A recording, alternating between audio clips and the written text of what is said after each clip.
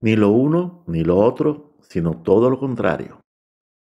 Esta es una legendaria frase pronunciada por ese genio que fue Mario Moreno Cantinflas. En la película ahí está el detalle, que es igualmente legendaria. Y no es una frase de confusión, sino de extrema lucidez. Y aunque mucha gente bromea con ella, realmente tiene su sentido. Y al reflexionar sobre la Matrix y su objetivo de crear falsas dualidades, eh, dialécticas fraudulentas donde tesis y antítesis son amañadas y la síntesis es diabólica, pues ahí está el detalle.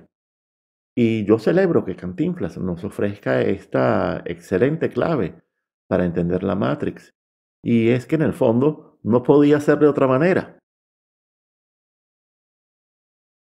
Ni lo uno ni lo otro, sino todo lo contrario, también pareciera encajar muy bien con dos de los objetivos de la Operación Caos, descrita en el video anterior, que son la siembra de confusión y división en la población.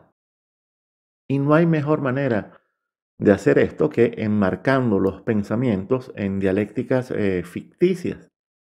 Y el objetivo final aquí es la destrucción del pensamiento, al encerrarlo y reducirlo a un, a un cerco binario, ficticio, estéril, eh, sin contacto con la realidad, una especie de esquizofrenia donde ya no se puede diferenciar lo que es real de lo que no es.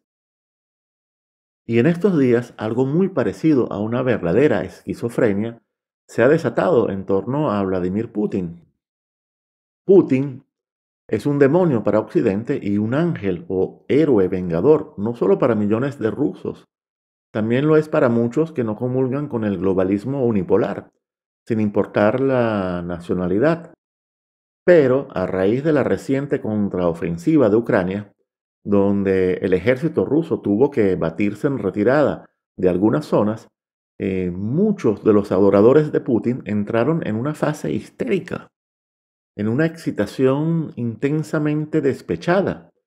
Y como demostración de que la Matrix es destructora del pensamiento, se ha formado un grupo de sus antiguos hinchas eh, que se le han volteado y ahora lo acusan de traidor y hasta piden su cabeza, haciéndole justamente el juego a Occidente, que precisamente no desea otra cosa. Y cuidado si esta no es otra operación caos. Ahora bien, y dejando de lado el análisis militar de la, de la retirada rusa, dejando de lado que en toda guerra hay batallas que se ganan y se pierden, dejando de lado que la retirada táctica, estratégica o como se la quiera llamar, eh, forma parte de la historia militar rusa. En fin, dejando de lado que entender la forma como Rusia ha llevado esta guerra es un análisis aún en proceso, sobre el cual es temprano pronunciarse, dejando de lado todo eso, creo que valdría la pena, antes que nada, tratar de entender al personaje sin caer en infantilismos. Y en ese análisis, eh, las dos primeras conclusiones, las más seguras, es que Putin ni es un demonio ni es un ángel. No es ni lo uno ni lo otro. Pero al fin y al cabo, ¿quién es Putin? Y aquí asoma la primera complicación, porque no se puede saber quién es realmente si no se conoce debidamente su pasado y cuáles fueron eh, los verdaderos resortes que lo impulsaron en su ascenso al poder. Un ascenso en apariencia meteórico, a un poder al cual no es nada fácil llegar. Y esta sola tarea es extremadamente difícil, primero porque la naturaleza rusa sabe guardar secretos. Recuerden la frase de Churchill sobre Rusia, un acertijo envuelto en un misterio dentro de un enigma. Y segundo, porque Occidente eh, ha fabricado toda una leyenda negra en torno a Putin, un relato siniestro. Un relato que supuestamente es cónsono con alguien cuya alma mater fue nada más y nada menos que la KGB, y que además, y por si esto fuese poco, tuvo una pasantía, una, una larga pasantía por Alemania Oriental, la Alemania de la Stasi, un territorio harto delicado y complejo, apto solo para verdaderos profesionales, y sobre el cual a su vez se tejió también toda una leyenda que, que más que negra es negrísima. Ahora, sobre la leyenda negra de Putin. Estoy seguro de que él mismo, bajo cuerda, ha contribuido a alimentarla, a contaminarla y a enredarla. Estoy seguro porque sin duda eso tiene su conveniencia maquiavélica.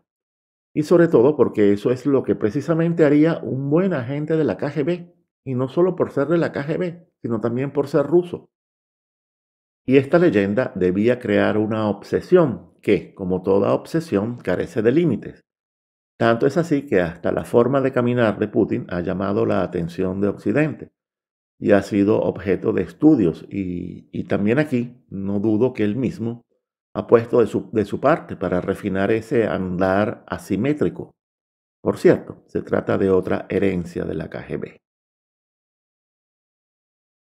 Pero aquí, y a mi modo de ver, el principal error que ha cometido Occidente al centrarse tanto en la figura de Putin, porque Occidente termina cayendo en sus propios engaños, el principal error ha sido el perder de vista el aparataje del poder que lo trajo y lo mantiene.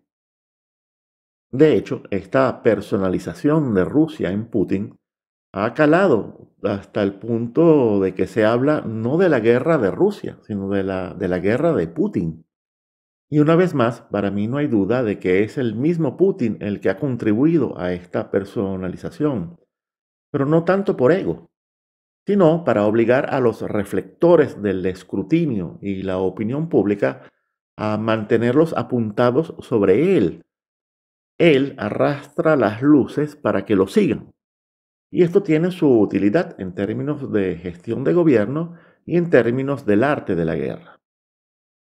Pero, más allá de saber quién es Putin, pragmáticamente habría que preguntarse cuál es el poder de Putin a estas alturas del juego eh, se ha vuelto un zar, es un, es un dictador, un tirano? ¿O no será que terminó por encarnar perfectamente la figura fuerte, autoritaria y paternalista que los rusos prefieren para sus gobernantes?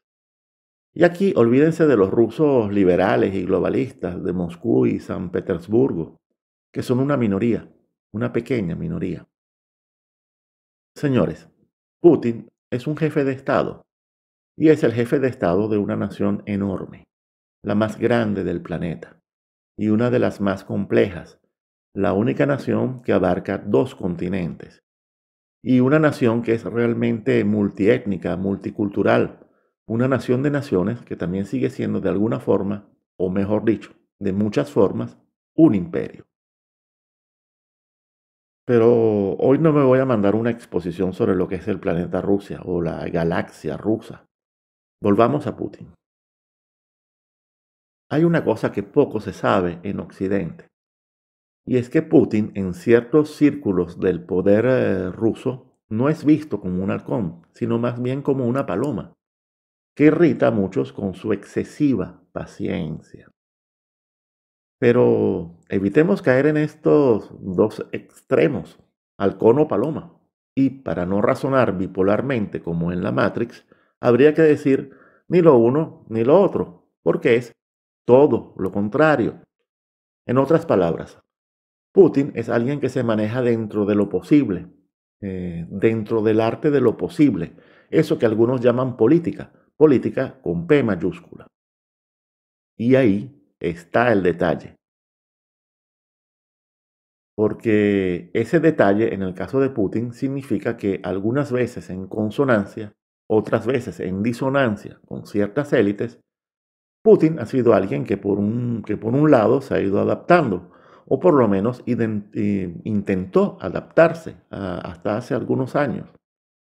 Porque no hay duda de que ensayó un intento gradual de inserción de Rusia en Occidente, y la demostración de este intento es Alemania, no la de la Unión Europea.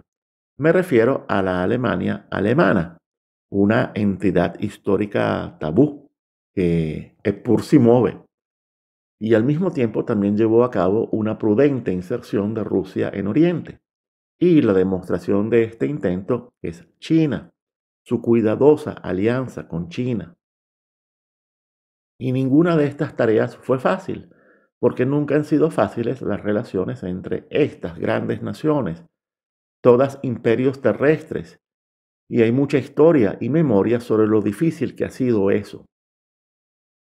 Pero, por otro lado, y al mismo tiempo, no se puede negar que, fatalmente, Putin se ha ido endureciendo, en la medida que volvió a vertebrar a la nación que dirige.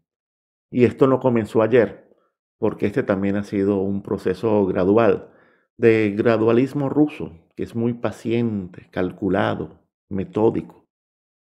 Y ese proceso hay que verlo desde el principio, cuando recibió una nación arruinada por el comunismo terminal y luego asaltada por el liberalismo en los 90.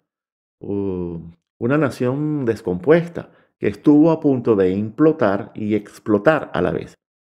Sin duda alguna, un punto de inicio nada fácil. Y en esto consiste el Putin estadista, guste o no guste. Bueno, amigos y seguidores, ya saben, anoten esta definición exacta.